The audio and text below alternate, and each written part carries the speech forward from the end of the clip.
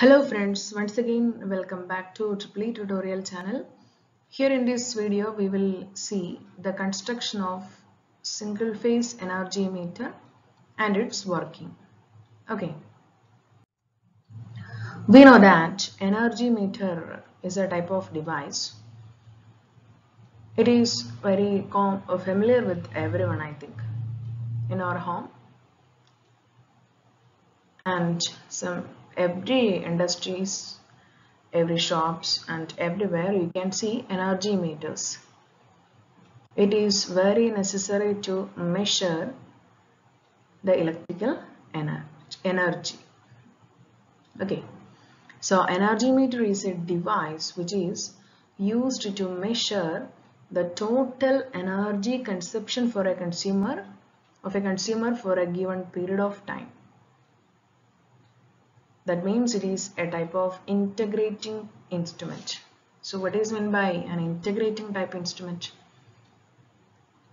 Means which will integrate or add the energy consumption or load, the energy consumption of load for a given period of time. That means it will update the energy consumption during each interval of time and finally they will we can see that it will integrate the overall reading or the overall energy consumption for a given period of time okay? So the function of energy meter is to measure the total energy consumption for a given period of time and which measure energy in kilowatt hour okay? This unit is very important. And it is a very less less expensive and very accurate device here you can see a picture. This is the energy meter. Here you can see some dials here and this is the aluminium disc. The rotation of the aluminium disc will gives the total energy consumption. Okay we will discuss about that points in the coming uh, slides. Okay. So now let us see the construction of energy meter so for the construction of energy meter, four mechanisms are very essential. That is driving system or driving mechanism, moving mechanism, braking mechanism and finally registering mechanism or registering system. So we will see these four mechanisms in detail. The first mechanism for the construction of energy meter that we need that is driving system. Here you can see the construction of energy meter. For the driving system, two electromagnets are essential.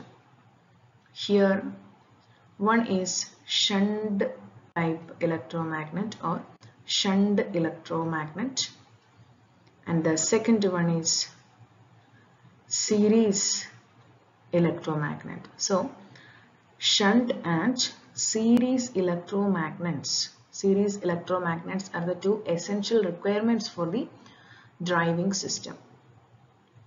Okay, first let us see about the series electromagnet. We know that electromagnet means what?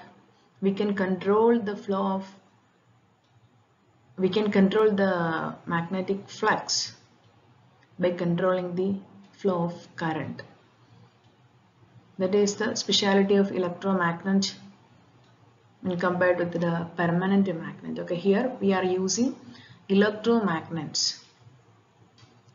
So coil is wounded on the center limb of this um, shunt magnet shunt electromagnet.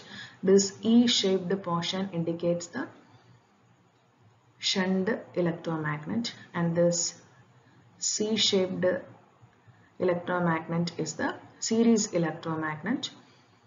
In series electromagnet, it is made up with V-shaped laminations of silicon steel. This point is very very important for technical exam point of view. So you can remember this point.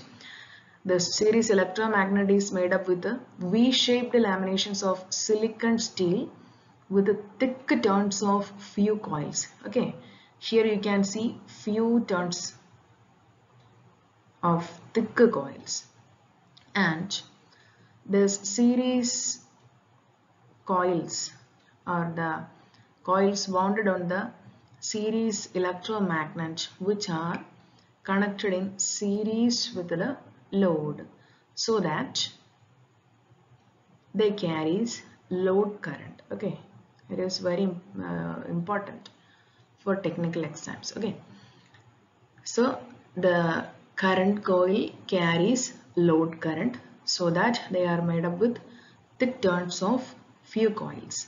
Okay. So that the flux produced by the current coil will be exactly in phase with the load current. Okay. So now let us see what is meant by shunt electromagnet. So we uh, as we have already seen in the previous slide this E-shaped portion indicates the shunt electromagnet and the coil wounded on the center limb is the shunt winding. Okay. And remember the shunt coil or the shunt uh, the windings on the shunt electromagnets are connected across the load okay or it, we can say that it is connected across the AC supply. Okay. So that we can call this shunt coil as potential coil. Similarly here the current uh, the series coil which is connected in series with the load. So that we can call this series coil as current coil and we can call the shunt coil as the pressure coil okay but to make better driving torque the flux produced in the shunt coil must lag the applied voltage exactly by 90 degree. But in the case of current coil, we have seen that the flux produced in the current coil is in phase with the load current. But here, the flux produced in the pressure coil must lag the supply voltage exactly by 90 degree. So what is the purpose? To make the driving torque. If driving torque is not there, then the aluminium disc will not rotate. Okay, in this diagram you can see the aluminium disc. This violet colored portion indicates the aluminium disc and a pointer is attached along with this aluminium disc to record the entire reading. Okay.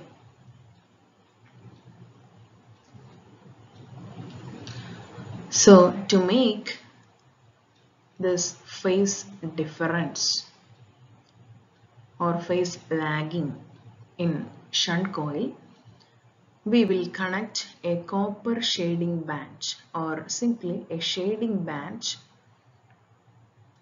in the center limb of the shunt magnet or shunt coil. This blue colored portion indicates the copper shading band. So what is the purpose of using this copper shading band it will make the phase difference of 90 degree for the flux produced in the pressure coil with the AC supply. For that we, we will use a copper shading band. Okay. So now we will move on to the next requirement for the construction of energy meter that is moving system. We know that for the moving system in energy meter, aluminum disc is the moving system. Here you can see the violet colored portion indicates the aluminum disc and this aluminum disc is placed in between the air gap of shunt electromagnet and series electromagnet. Again, when the consumer use any loads, then we can see some flux will sets up in the pressure coil and the current coil. The flux produced in the pressure coil will exactly lag 90 degree with the supply voltage. But the flux produced in the current coil will be in phase with the load current. So due to the interaction of these two fluxes, means remember that this aluminum disc is placed in between these two magnets. That means which will come in contact with these two fluxes so that the interaction of these two fluxes will make necessary driving torque in the aluminum disc. So that in each rotation of the aluminum disc it will cut the fluxes two fluxes. That means for each rotation of aluminum disc, it will cut the flux produced by the pressure coil and the flux produced by the current coil so that two eddy currents will induce in this aluminum disc. Okay, this is the moving mechanism included for the construction of energy meter. So now we will discuss about the third mechanism that is the braking mechanism. Okay. So we have discussed about the rotation of aluminum disc. Now the aluminum disc is rotating but it is necessary to control the rotation of the aluminum disc. For that we will use a braking magnet at the end of this aluminum disc and this braking magnet is made up with a permanent magnet. But remember these magnets means shunt and series magnets are made up with electromagnets. The braking magnet is made up with permanent magnet. And remember this eh, which is placed like this. When the aluminum disc rotates, we can see that it will in, uh, for the each revolution of this aluminum disc this disk will cut the magnetic flux produced by the permanent magnet also. Okay. Got it. For the each rotation of this aluminum disc this will cut the flux produced by the permanent magnet. Thereby an eddy current will induce in the aluminum disc. Okay. And this eddy current will just opposes the rotation of the aluminum disc. That means this eddy current will just opposes the other eddy currents produced in the aluminum disc. So due to this opposing mechanism or due to this braking mechanism, the speed of rotation of the aluminum disc can control. So this is the point about the braking mechanism. Okay. So remember the position of the shunt electromagnet and series electromagnet. Aluminum disc is placed in between these two magnets and a spindle or a pointer is attached along with the aluminum disc and it will record the reading and a braking magnet or a permanent magnet is placed at one end of the aluminum disc to control the speed of rotation of the aluminum disc.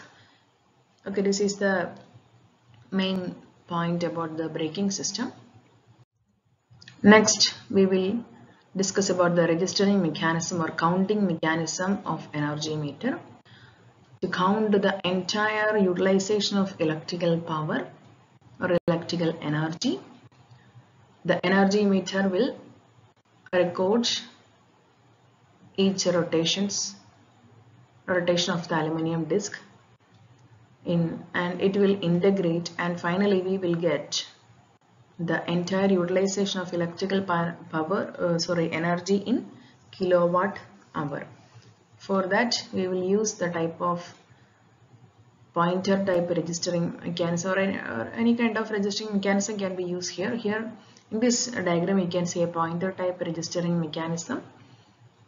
And based on the rotation of the aluminum disc we will finally integrate and finally calculate the electrical energy utilization okay this is the main point about the registering mechanism so these are the main four uh, systems which is important or needed for the construction of energy meter. So finally, here we are going to discuss about the working of energy meter. The energy meter is the device which works based on the principle of Faraday's laws of electromagnetic induction. That means the aluminium disc will rotate in between the shunt and series electromagnets on the basis of the interaction of the flux produced by the shunt and series electromagnets. In the case of shunt electromagnet, the flux produced by the shunt, electro, uh, shunt coil is exactly lag 90 degree by the supply voltage. For that we will use copper band on the central limb of the shunt magnet. So that due to this phase difference, a torque will induce in the aluminium disc and this torque is necessary or sufficient to move the aluminium disc. To control the movement of this aluminium disc,